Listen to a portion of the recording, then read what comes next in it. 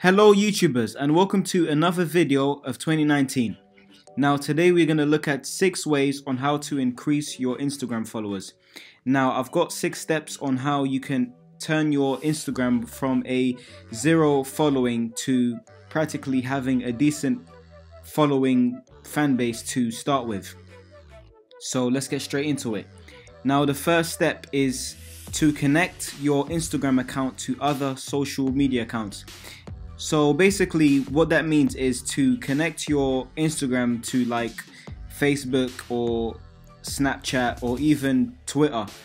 So it basically tells them that you are active on Instagram and this allows you to bring those type of people to your Instagram page and then you can start increasing your following from there especially if you are someone that wants to start a business this is actually a good way to start gaining some customers to view your Instagram page and becoming potential customers and start to purchase your products. So the next step is to keep an eye out for what works.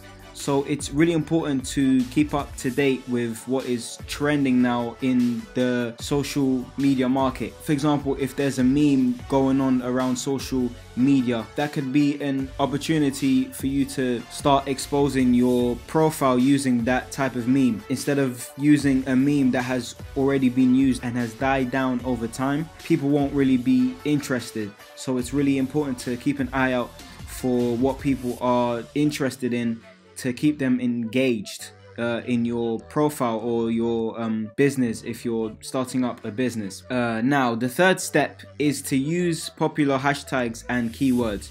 Uh, so, what hashtags basically is is certain words that people search on the media. So for example if you go on instagram and go to the search bar and you type in a particular name or a subject there will be a lot of relevant posts that relate to that search and by using hashtags it will drive more people to reach your profile using these hashtags and keywords. So it's really important to keep in mind what people are searching now. And it actually relates back to the second one which is to keep an eye out for the trend. So what are people searching uh, online and what people want to see. So it's really important to give your customers what they want and what they are looking for. Now, the fourth step is to follow people or to like their photos. That could be one way to um, to start getting an interest for certain people but I also have another tactic that you can try and experiment as well. Uh, what you could do, you can start following people based on a particular celebrity or a brand, and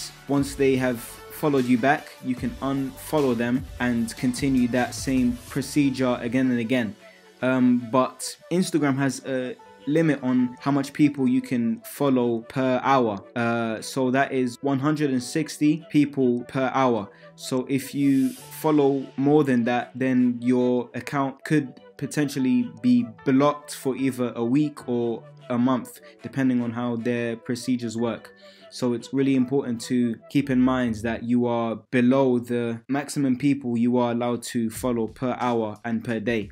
Now, the fifth step is to offer discounts. If you are starting a business online, uh, it's always important to include discounts because what discounts does it attracts people into buying your product that is at a discounted price which is cheaper than its original price uh, which can actually build the awareness of your brand according to the discounts that you offer. So it's really important to keep in mind that you sell items that attract customers to your page not only to follow you but to also start generating some sales and you know form a business out of that.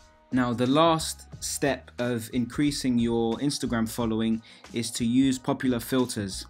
Now filters is just a visual thing and it changes your posts for the better in some moments it can be beneficial, other moments it's not really necessary. But with filters, it sets a mood on people and you know what you want them to feel. So, for example, if I was to post something uh, sad on my Instagram page, instead of keeping it plain, I would probably add a white and black filter just to create that mood and have people relate to me, you know, which can also increase the interest of people. So, it's so important not only for what you're selling, but can people relate to you. Hope you enjoyed this video of six ways to increase your Instagram following.